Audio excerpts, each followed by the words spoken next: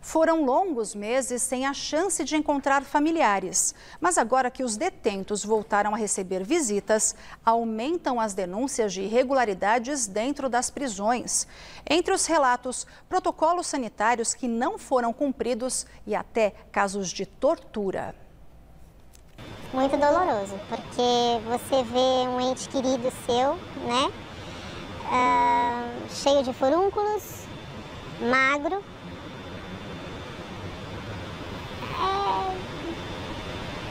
é triste, muito triste. Chorei muito. É assim que essa mulher que prefere não se identificar descreve o reencontro com o parente depois de meses sem vê-lo pessoalmente. A situação, segundo ela, aconteceu no CDP de Mauá, na Grande São Paulo. Comida azeda, esverdeada. Eles tiveram surto de sarna por falta de higiene. Uh, eles tiveram muitos furúnculos, eles tiveram é, contato normalmente um com os outros.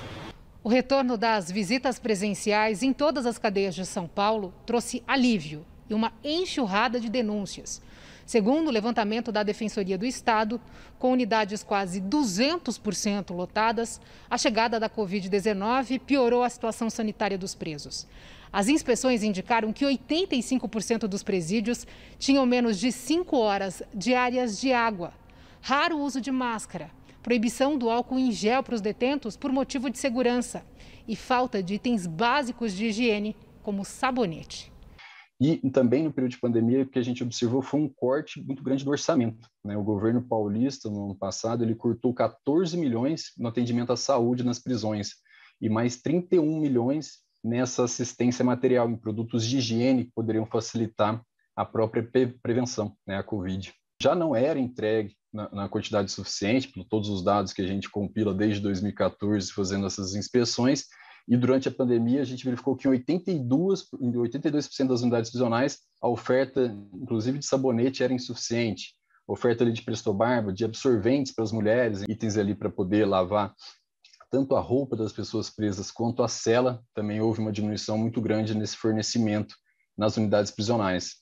De acordo com a Defensoria Pública, mesmo sem testes para a Covid, pelo menos 75% das unidades prisionais registraram casos de contaminação, com mais de 40 mortes nos piores meses da pandemia, entre fevereiro e junho desse ano em São Paulo. Como assim? Um lugar que, que, um lugar que caberia oito pessoas, tem 50. Um lugar onde a água é ligada duas vezes por dia. As pessoas não têm água, água encanada ali não tem, não tem saneamento básico digno ali, as pessoas cagam num buraco. As pessoas não têm uma saúde adequada, né? Na avaliação da pastoral carcerária, a situação piorou também em outros termos. O número de denúncias de tortura teria dobrado em todo o país. E isso, na pandemia, veio ainda bem claro. Sem notícias, sem possibilidade de contato, sem possibilidade de receber, até sabemos que houve dificuldade eh, quando foram enviadas cartas, foram enviados. Eh, então, tem toda uma série de dificuldades. Né? Em Roraima houve eh, um sistema, é, o sistema penitenciário é mais pequeno como número, né? mas teve lá eh, uma, um surto muito forte de escabioso, né? que sabe.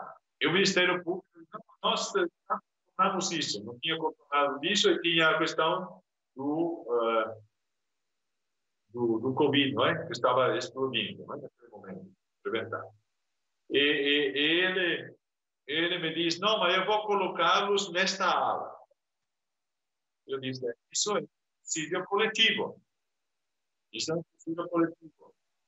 Porque na ala onde o senhor está colocando, esta é uma ala que é a ala menos adapta a isso. Porque é uma insalubridade total. Até que começassem as visitas virtuais, foram cerca de seis meses sem contato dos presos com a família.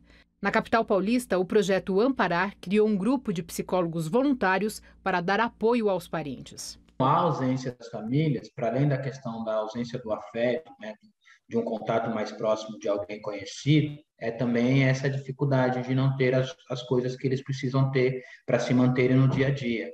a gente perde noites de sono. E eles destroem absolutamente tudo. Eles destroem correspondência das famílias, eles destroem fotos que as famílias mandam. Eles destroem tudo. Eles destroem a vida dessas pessoas. Então, que reeducando vai sair dali? Que, que ressocialização está acontecendo ali dentro? Em nota, a Secretaria da Administração Penitenciária do governo paulista disse que as reclamações não procedem e não há falta de água e nem de comida no sistema.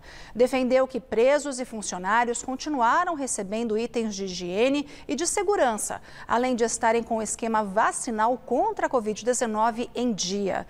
Também reforçou que os presídios são fiscalizados regularmente pela Justiça e Defensoria Pública, inclusive o CDP de Mauá. Segundo a pasta, a unidade recebe procedimentos de combate à sarna, que incluem limpeza das celas e entrega de medicação. E ainda ressaltou que houve aumento da verba orçamentária.